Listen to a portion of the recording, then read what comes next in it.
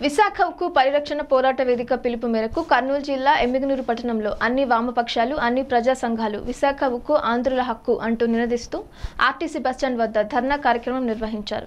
ఈ సందర్భంగా ప్రజా సంఘాల నాయకులు మాట్లాడుతూ విశాఖ ఉక్కు కర్మాగారం నిర్మాణం కో- కోసం వేల ఎకరాలు ఇచ్చిన రైతుల త్యాగాలను మరచి కేంద్రం ప్రైవేటీకరణ దిశగా అడుగులు వేయడం దారుణమని విమర్శించారు. ఈ కార్యక్రమంలో సంపన్న గౌడ్ హనుమంతు రాజు రామాంజనేయులు నరసన్న బాలరాజు రాముడు పాల్గొన్నారు. వ్యాప్తంగా విశాఖ ఉక్కు ప్రైవేటీకరణ ఆపాలని చెప్పేసి కేంద్ర ప్రభుత్వానికి బుద్ధి చెప్పే విధంగా ఆంధ్రులకు ఆత్మగౌరవాన్ని కాపాడని చెప్పేసి వామపక్షపాటి ప్రజా సంఘాలు మరి అందరూ మేధావులు ఈ రోజు ఈ యొక్క మా బంద్కు పిలుపునివ్వడం జరిగింది.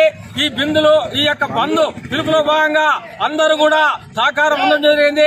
ఒక పక్క వ్యాపార సంస్థలు ప్రభుత్వ రంగ సంస్థలు విద్యా సంస్థలు అందరూ కూడా బంద్ సహకరించి ఈ యొక్క విశాఖ ఉక్కును మరి ప్రైవేటీకరణ ఆపే దిశగా మనం అడుగులు వేయాలని చెప్పేసి ఈ రోజు వామపక్ష పార్టీ ప్రజా ఈ యొక్క విశాఖ ఉక్కు ప్రైవేటీకరణ ఆపాలని చెప్పేసి డిమాండ్ చేస్తూ మరి తక్షణమే ఉపయోగించాలని చెప్పి డిమాండ్ చేస్తూ మేము వామపక్ష పార్టీ హెచ్చరిస్తున్నాం.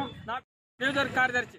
పట్టణ ప్రజలు బంధువు సహకరించాలని చెప్పి వామపక్షాన్ని విజ్ఞప్తి చేస్తున్నాం. ఈరోజు ఆంధ్రులో హక్కు విశాఖ హక్కు ఈ యొక్క అనేక త్యాగాలతో చేసి ఈ సాధించుకున్న విశాఖ హక్కును ఈరోజు కొంత కార్పొరేట్ సంస్థలకు బీజేపీ ప్రభుత్వం కుట్ర పని వాళ్ళకి అప్పచెప్పడానికి సిద్ధం పడుతుంది. ఈరోజు నష్టాలు అనే పేరుతోటి ఈరోజు ప్రభుత్వానికి విశాఖ ఉక్కు గనులు ప్రభుత్వం యొక్క గనులు కేటాయించలేకపోవడం అనేది చాలా శోచనీయమైంది. ఈ పేరుతోటి ఈ రాష్ట్రానికి ఉపాధి కల్పించే అతి పెద్ద పరిశ్రమ. అంతర్జాతీయంగా ఇది రెండవ పరిశ్రమ.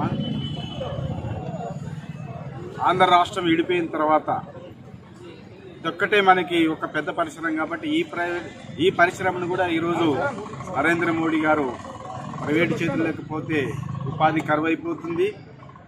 మరి అనేక రకాలుగా ఈ రాష్ట్రానికి అన్యాయం జరుగుతుంది కాబట్టి దాన్ని దృష్టిలో పెట్టుకుని గతంలో కూడా మరి త్యాగ ఎంపీలు కానీ ఎమ్మెల్యేలు కానీ రాజీనామా చేయాలా? అదేవిధంగా తెలుగుదేశం వాళ్ళు కూడా మరి అధికారంలో ఉన్న వాళ్ళు కూడా ఎమ్మెల్యేలు ఎంపీలు కూడా రాజీనామా చేస్తే దీనికి పరిష్కారం అవుతుంది లేదంటే నరేంద్ర మోడీ కర్కోట్కుడుగా కాబట్టి ఆ నరేంద్ర మోడీ తలలు వంచాలంటే ఇక్కడ ఉన్న ప్రభుత్వం తప్పనిసరిగా